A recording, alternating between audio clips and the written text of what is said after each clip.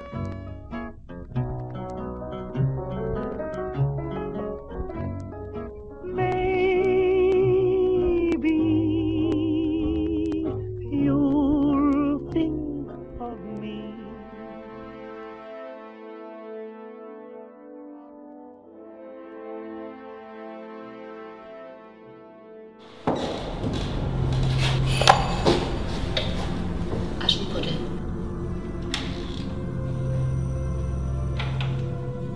Wurden Sie verfolgt?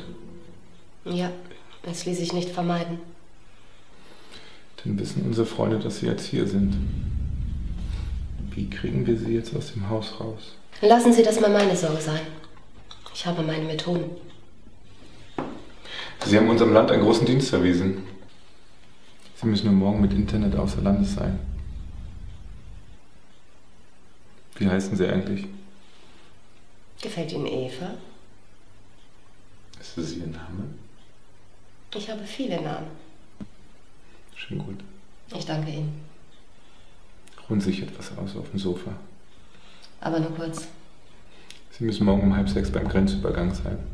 Unser Kontakt wartet dort auf Sie. Schalter 3. Pünktlich. Wo ist Internet?